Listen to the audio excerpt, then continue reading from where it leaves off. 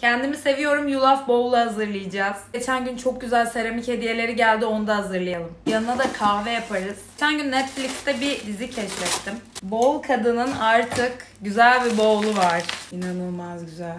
Ve Duygu 15 kodu vermişler. %15 indirimli bu ürünleri alabilirsiniz. Bu bahsettiğim dizinin 10 bölümünü 3 günde falan bitirdim. Ama ben böyle cheesy diziler severim. SAT'deki Samantha oynuyor. Kendi kozmetik markasını kuran eski bir modeli canlandırıyor. Ben zaten bu sektörde olduğum için bayılıyorum. Kupamızın güzelliği.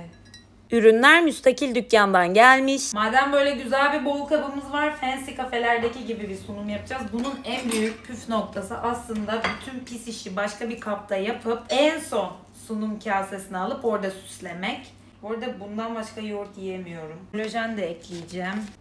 Karıştıracağım. Kaseye alıyorum. Ben yaban mersini granola kullanacağım. Tam tabağımda yaban mersini renginde. Muzun yarısını bu arada yoğurda ezip karıştırıyorum. Hindistan cevizi koyacağım. Son bir dokunuşumuz daha var. Fıstık ezmesi. Züber'inkini seviyorum bayağı. Bu güzellik şaka mı? Americano yapacağım. Kahvaltım hazır. inanılmaz güzel oldu. Kesinlikle ücretli bir işbirliği değil ama hediyelerini çok beğendim. Kahvaltıma bayıldım. Bir an önce yiyeceğim. Sizi çok öpüyorum.